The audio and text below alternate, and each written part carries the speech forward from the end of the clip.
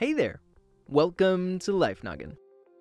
Ooh, you made it all negative, but in a good way. Welcome to another episode of Dear Blocko. This is where I answer your questions that you have about your world and my world. Let's get started with our first question. Some channel asks, Dear Blocko, what would happen if you were upside down for too long? Well, hanging upside down can be fun for a bit, and some people even think that it can help with back pain with something called inversion therapy. But pretend to be a human bat for too long, and you could run into some trouble. If you hang upside down for more than a couple of minutes, your heartbeat starts to slow and your blood pressure increases. Being in an inverted state can even increase the blood flow to your head. That's why it's especially dangerous for people with high blood pressure, heart conditions, or glaucoma to hang upside down. Pregnant women are also advised against it. Although the exact time frames are a little unclear, hanging upside down for too long is thought to be deadly. It seems like it's kinda rare, but people have actually been found dead hanging upside down. Wow, that's a really scary thought. Let's see if the next question is a little more lighthearted. Blade the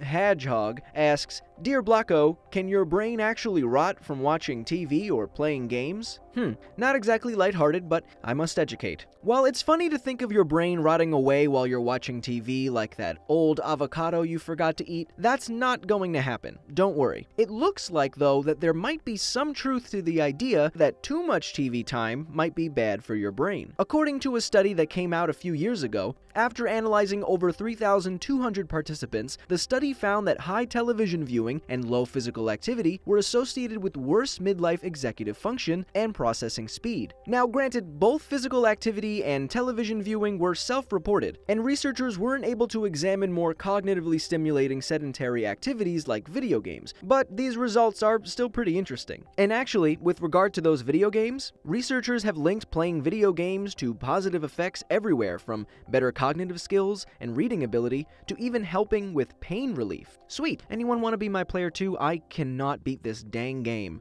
Okay, now it's time for questions about my world. Ultra Gaming HQ asks, Dear Blocko, do you have an evil twin? I do actually. His name is Mako. He's really mean. Mean? I'm downright evil, kid. This town belongs to me, and I've kidnapped the mayor. What are you even talking about, man? You'll never catch me, Blocky Man.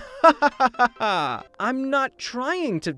You know what? Let's move on. Ace RK says, Blocko, please tell us the story behind the Hot Jupiter nickname. Ooh, okay. Uh, I knew this day would come. Look, I went to college on Jupiter, and maybe when I was there, I got a little too wild. And maybe I locked myself in a sauna, and maybe I was in there for like 20 days and nobody helped me. And maybe some frat aliens called me Hot Jupiter until I graduated. Who knows, really? You know, it was it was so long ago. I don't I don't even remember. Could we just go to the next scene, animator, please? Please? please. So, do you have any questions about your world or my world? Let me know in the comment section below. Enjoyed this episode of Dear Blocko? Then you should watch the previous episode we did. Hey Blocko, what is the true color of the sun? I tried figuring it out myself, but my eyes are starting to hurt. Oh, Oscar, please don't stare into the sun. As always, my name is Blocko. This has been Life Noggin. Don't forget to keep on thinking.